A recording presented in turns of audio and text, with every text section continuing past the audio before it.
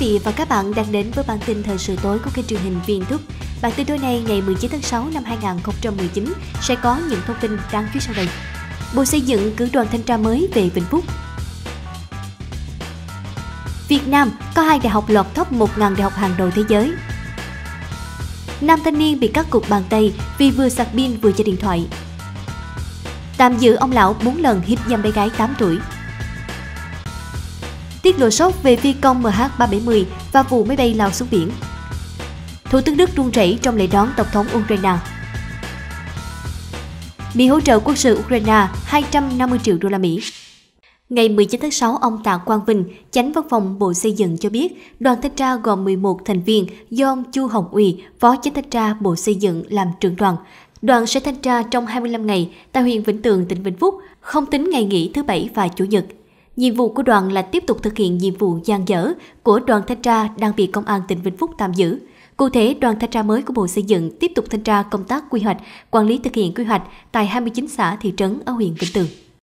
QS World University Rankings, bảng xếp hạng đại học thế giới QS danh tiếng của Anh, vừa công bố danh sách 1.001 trường đại học hàng đầu thế giới trong năm 2020. Trong bảng xếp hạng 1.001 trường đại học thế giới đến từ 82 quốc gia và vùng lãnh thổ này, Việt Nam có hai cái tên xuất hiện là Đại học Quốc gia Thành phố Hồ Chí Minh đứng top 701 đến 750 và Đại học Quốc gia Hà Nội đứng top 801 đến 1000.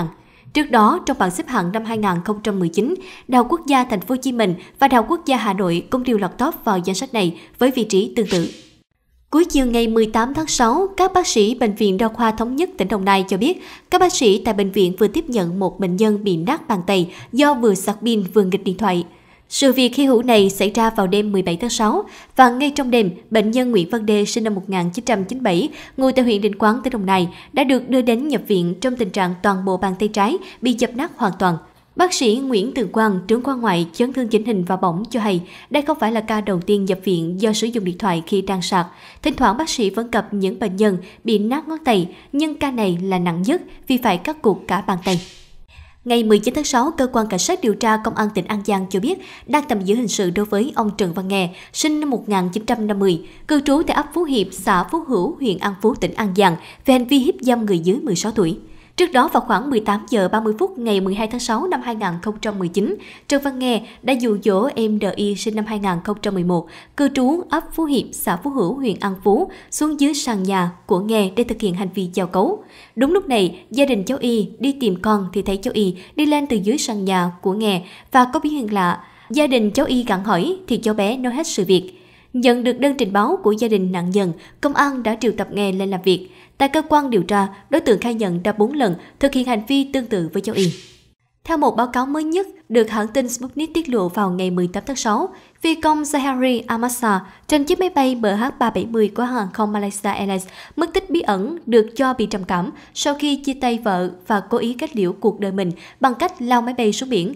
Theo một cựu phóng viên của tờ báo The Atlantic, phi công Zahari Amasa, 53 tuổi có thể đã giảm áp suất buồng lái nhằm giết chết tất cả những người trong khoang hành khách để không ai có thể can thiệp hành động tự sát của ông. Thủ tướng Đức Angela Merkel hôm 18 tháng 6 chủ trì lễ đón Tổng thống Ukraine, ông Volodymyr Zelensky tại phủ thủ tướng ở Berlin trong thời tiết nóng bức. Khi dàn quân nhạc cử quốc thiệu hai nước, bà Merkel bắt đầu run bần bật và hơi lắc lưng người. Quốc thiệu kết thúc, bà Merkel cố gắng lấy lại thăng bằng và bước đi nhanh cùng ông Zelensky vào phòng thủ tướng. Biểu hiện của Thủ tướng Merkel dấy lên những lo ngại về sức khỏe của bà. Khi được hỏi về việc này trong cuộc họp báo chung với Tổng thống Ukraine, sau đó, nữ Thủ tướng 64 tuổi của Đức giải thích rằng bà bị mất nước. Bà Merkel từng có dấu hiệu trung chảy tương tự và ít nhất một lần gặp vấn đề sức khỏe do thời tiết nóng bức.